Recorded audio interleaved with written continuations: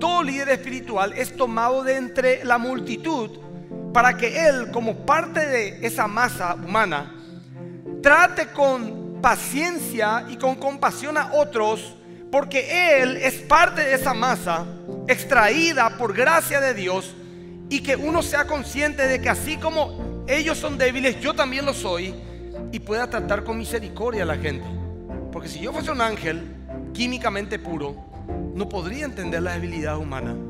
¿Cómo puedo tener empatía?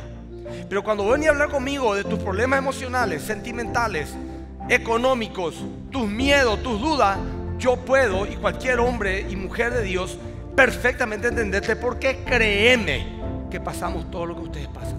Porque aquí le ven a uno parado y muchos que están parados por ahí predicando hoy que tienen tus mismas debilidades. Y estamos parados acá por fe.